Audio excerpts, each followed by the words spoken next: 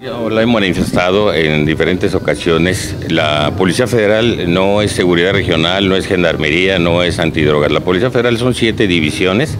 y el día de hoy afortunadamente tenemos la presencia de la división de gendarmería, pero también tenemos elementos de la gendarmería de inteligencia, de la científica, de la propia este, división de seguridad regional, que está participando en el foro eh, nacional, que va a ser el 22 foro el día de hoy por instrucciones de nuestro jefe eh, de la Policía Federal, el maestro eh, Manelí Cravioto. Entonces, eh, todo esto va encaminado precisamente a la prevención, a la cultura de la denuncia, que la ciudadanía se acerque con confianza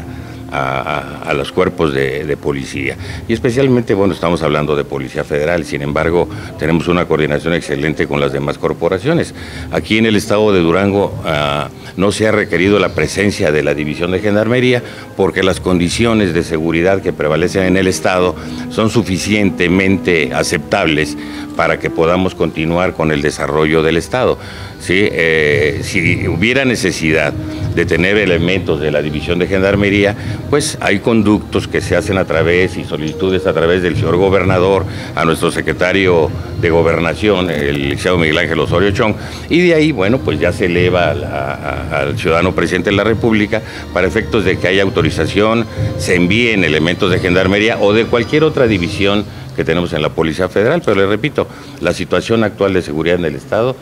es mucho, muy satisfactoria, entonces con lo que tenemos estamos trabajando y si hubiera necesidad, créanme que se haría eh, la solicitud, que, como se ha hecho en otras ocasiones cuando ha venido la División de Fuerzas Federales, que ustedes recuerdan, pero son requerimientos especiales que se dan y que se hacen, pero que se pueden llevar a cabo en el Estado. ¿No se en la zona serrana?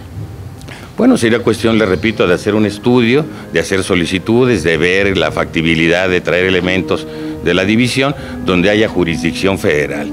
Sin embargo, la Gendarmería también trabaja en donde existen eh, bienes de consumo, también desarrollo industrial y demás, pero eh, todo esto conlleva hacer un estudio de necesidades y que haya un proyecto anticipado para que se pueda generar.